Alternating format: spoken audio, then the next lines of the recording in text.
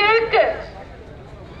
வெல்வதே இலக்கு என்ற லட்சியத்துடன் ஓட்டு வேட்டையாடி கொண்டிருக்கும் நம் இடைக்கால பொதுச் செயலாளர் கழகத்தின் எதிர்கால பொதுச் செயலாளர் வருங்கால முதல்வர் கொங்கு நாட்டின் முதல்வர் அண்ணன் எடப்பாடியார் அவர்களுக்கு என் நன்றி கலந்த வணக்கங்கள்.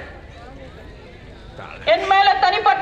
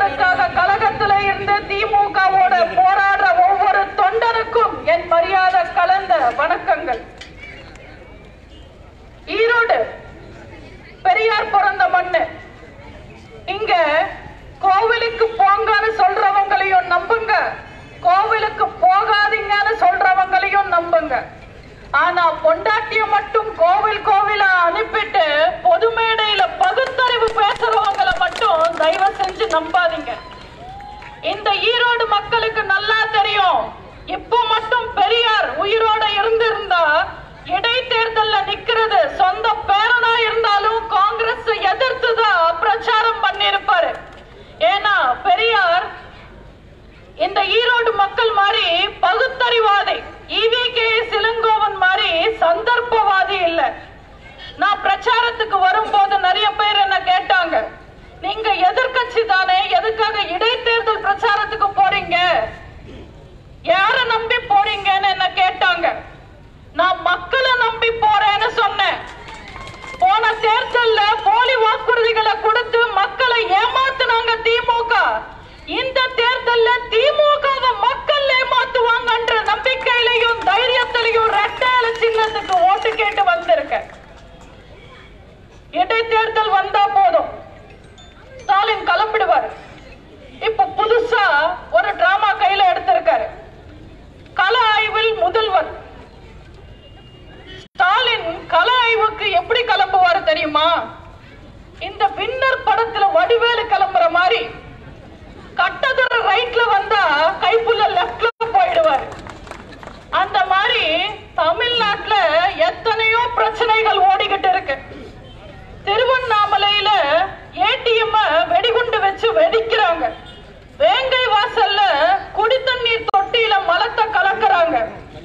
கிருஷ்ணகிரியில ராணுவ வீரனை அடிச்சே சாகடிக்கிறாங்க. விழுப்புரத்துல ஆசிரமத்துல பாலியல் கொடுமை நடந்துகிட்டு இருக்கு. கோயம்புத்தூர்ல கோட்டு வாசல்லையே கொலை பண்றாங்க. மதுரையில பத்து பகல்ல நடு ரோட்ல ஒரு பொண்ணை வெட்டுறாங்க. தென்காசியில போலீஸ் ஸ்டேஷன் வாசல்லையே காதலிச்ச பொண்ண கடத்தி தூக்குறாங்க. சென்னையில கடலை மிட்டாய் விக்கிற மாதிரி கஞ்சா வித்துக்கிட்டு இருக்காங்க. ஆனா பிரச்சனை இருக்கிற இடத்துக்கெல்லாம் போகாம சைலண்டா சேஃபா சேலத்தை செலக்ட் பண்ணிக்கிட்டு கலாய்வுக்கு வந்துட்டார் ஸ்டாலின். ஏன்னா பிரச்சனை நடக்கிற இடத்துக்கெல்லாம் போய் மக்களை பார்த்தா மக்கள் அசிங்கப்படுத்துவாங்க. அதனால சைலண்டா இருக்கிற சேலத்துக்கு வந்து சைலண்டா வேலை பார்க்கிறார் ஸ்டாலின். இந்த கல ஆய்வு மீட்டிங்ல ஸ்டாலின் சொல்றாரு சில திட்டங்களில் முன்னேற்ற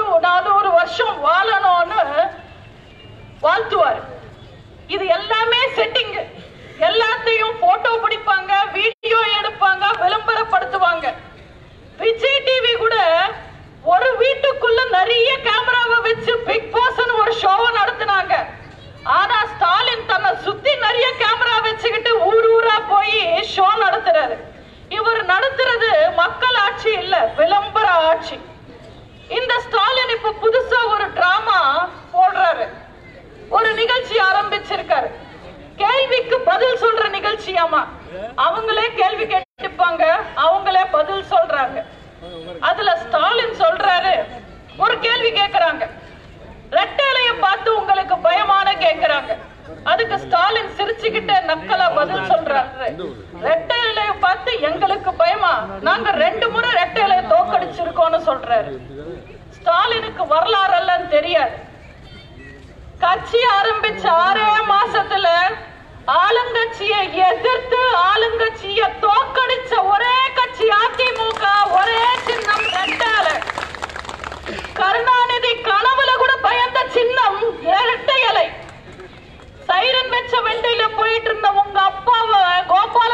வீட்ல பதினோரு வருஷம் சைலண்ட் மோட்ல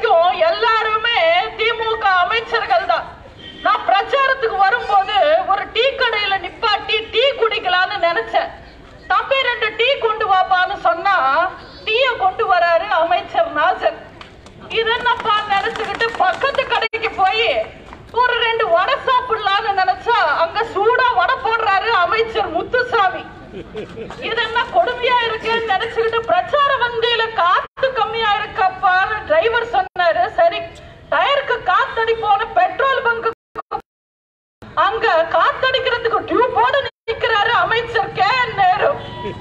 அதுக்குள்ள டிங்கு டிங்கு டிங்குன்னு ஒரு குல்பி வந்து போச்சு. ஒரு குல்பி வாங்கி சாப்பிடலாம்னு பார்த்தா குல்பி எடுத்து கொடுக்கிறாரு அமைச்சர் பொன்முடி.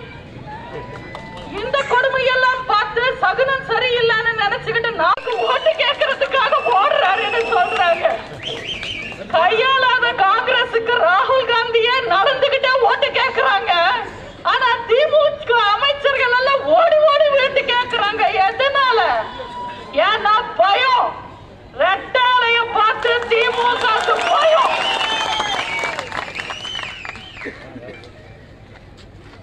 நான் ஸ்டாலினுக்கு ஒரே ஒரு அட்வைஸ் பண்ணணும்னு நினைக்கிறேன் பர்சனல் அட்வைஸ் சார் தப்பா நினைக்காதீங்க.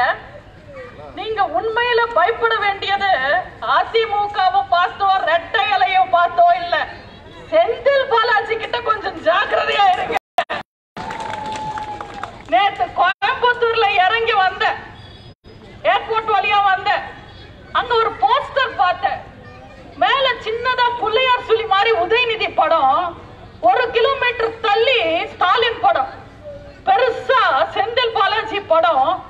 முதல்வரே அதிகம் உங்க வீட்டையும் உங்க கட்சியையும் கொஞ்சம் நல்லா பாத்துக்கங்க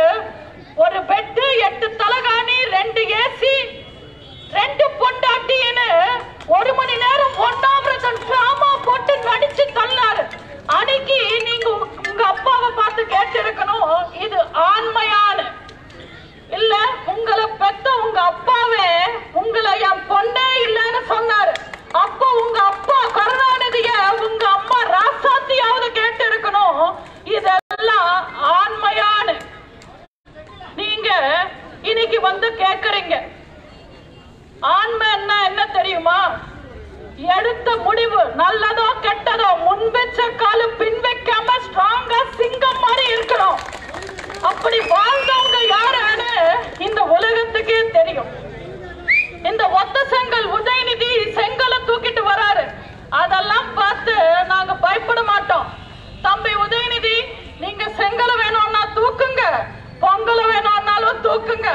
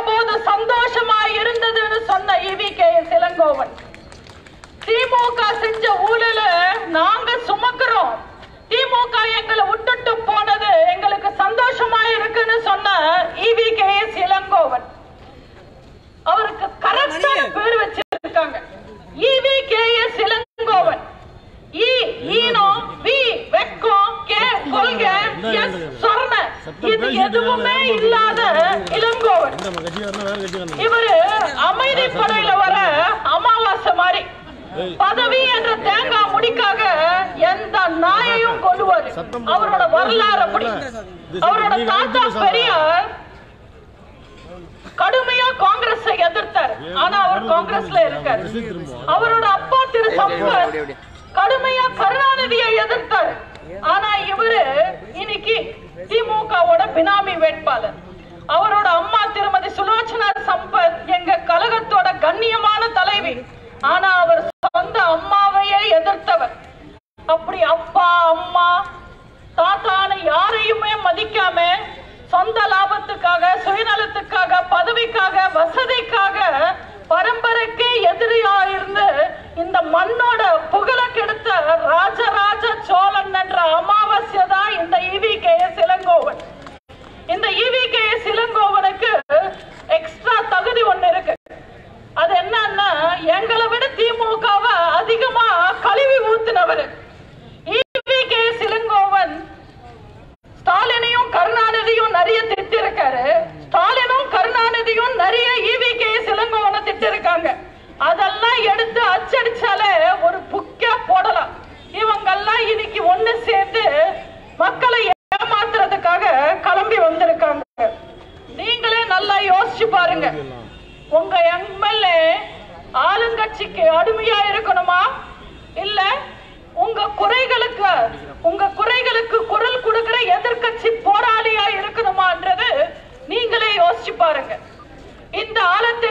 திமுக அரசாங்கத்தை திருந்தணும்னா இந்த அரசாங்கம் திருந்தணும்னா உங்களுக்கு கொடுத்த வாக்குறுதிகளை